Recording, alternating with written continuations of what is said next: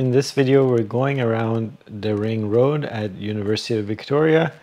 And as we're scanning, we can identify that there is a construction up ahead sign here, denoted by this diamond shaped sign here.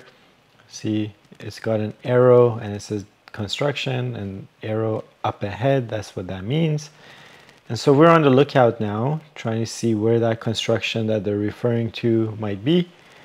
You can see the pedestrians coming up here to use the crosswalk.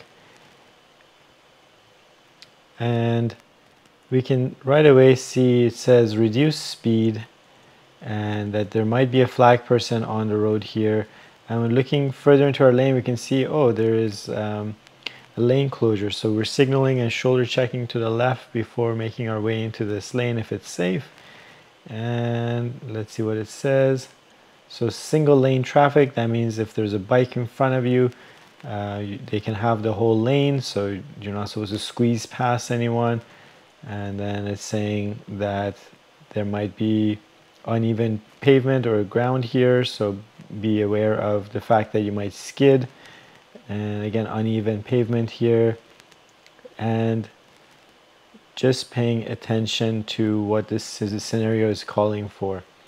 Now, the construction in this case wasn't, um, there was no active construction on the road here and there was no uh, speed limit sign posted for the construction itself. So we have to now use our discretion about what speed makes sense going into this construction zone.